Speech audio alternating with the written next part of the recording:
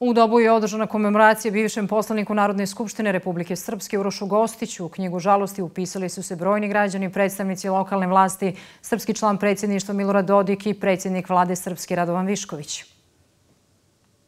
Opraštamo se od čovjeka koji je dao nemjerljiv doprinos da Doboj bude jedna od najperspektivnijih lokalnih zajednica u Srpskoj, rekao je srpski član predsjedništva BiH Milorad Dodik. Dodao je da je Uroša Gostića upoznao na početku političke karijere i da je od njega dobio brojne savjete kako da vodi politiku Srpske. Uroš Gostić je čovjek koga sam dobro naučio. Bio je racionalan i tražio je najbolja rješenja.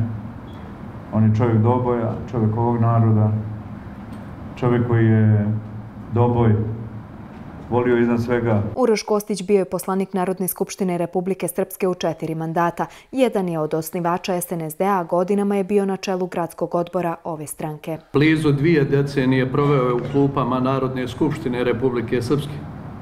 I nikada, baš nikada, nije iznevjerio one koji su ga birali, ali i one koji nisu dijelili njegove stavove. Bio je jedan od važnih stubova i oslanac kreiranja političkih, stabilnih i pozitivnih, pozitivnih ambijenata u gradu Doboju i u Republici Srpskoj. Telegrame saučešća porodici Gostić uputili su predsjednice Republike Željka Cvijanović i predsjednik Narodne skupštine Nedeljko Čubrilović. Uroš Gostić preminuo je u 86. godini. Biće sahranjen sutra u 13 časova u Beogradu na groblju Lešće.